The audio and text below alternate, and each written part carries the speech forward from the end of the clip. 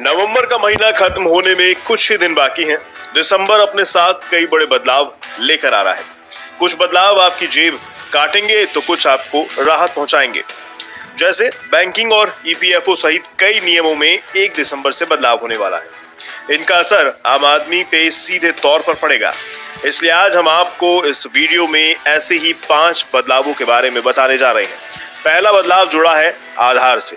दरअसल universal account number यानी UAN को आधार कार्ड से 30 नवंबर तक लिंक कराना ज़रूरी है। ऐसा अगर आप 30 नवंबर तक नहीं कर पाते हैं तो 1 दिसंबर से आपके खाते में कंपनी की ओर से आने वाला कंट्रीब्यूशन रोक दिया जाएगा। इसके अलावा आधार कार्ड से लिंक नहीं कराने पर आपको ईपीएफ अकाउंट से पैसा निकालने में भी परेशानी हो सकती है। दूसरा बदलाव है एसबीआई क्रेडिट कार्ड यूज़र्स के लिए। अगर आपके पास एसबीआई का क्रेडिट कार्ड है तो अगले महीने से इसके ज़रिए खरीदारी करना आपको थोड़ा महँगा पड़ेगा। क्योंकि एसबीआई क्रेडिट कार्ड यूज़र्स को हर खरीदारी पर निन्यानवे रुपए और टैक्स अलग से देना होगा। ये प्रोसेसिंग चार्ज होगा।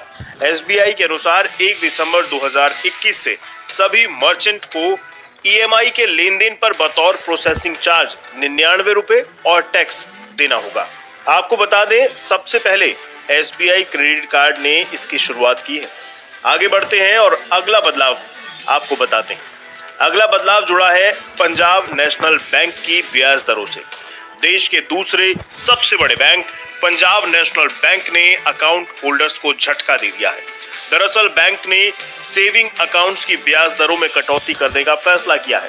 बैंक ने सेविंग अकाउंट्स की ब्याज दरों को सालाना दो दशमलव नौ शून्य से घटाकर दो दशमलव आठ शून्य फ़ीसदी करने का फैसला किया है। पीएनबी की ये नई दरें एक दिसंबर से लागू हो जाएँगी। अगला बदलाव जुड़ा है आपके घर में रोज इस्तेमाल होने वाली माचिस से। दरअसल माचिस की कीमत 14 साल बाद दोगुनी होने जा रही है। एक दिसंबर 2021 से आपको माचिस की एक डिब्बी के लिए एक रुपए की जगह दो रुपए खर्चने होंगे। आखिरी बार 2007 में माचिस के दाम 50 पैसे से बढ़ाकर एक रुपए किया गया था। कीमतों में बढ़ोतरी की वजह पर नज़र डालें तो माचिस को बनाने के लिए इस्तेमाल होने वाले कच्चे माल के दामों का बढ़ना इसकी वजह बताया जा रहा है। अगला और आखिरी बदलाव है आपकी रसोई से जुड़ा, यानी एलपीजी से जुड़ा। लेकिन इस बार बढ़ोतरी नहीं, बल्कि कमी होने की आशंका जताई जा रही है।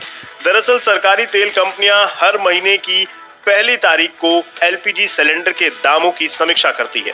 अफ्रीका में कोरोना वायरस का नया वेरिएंट मिलने के बाद कच्चे तेल के दाम में बड़ी गिरावट आई है। ऐसे में उम्मीद है कि एक दिसंबर से इस समीक्षा में एलपीजी सिलेंडर के दाम कम हो सकते हैं। और अगर ऐसा होता है तो देश की आम जनता की जेब पर कुछ बोझ तो ज़रूर कम होगा। तो ये थे वो पाँच बदलाव जो आने वाली एक दिसंबर से आपके और आपकी जेब पर असर डालेंगे।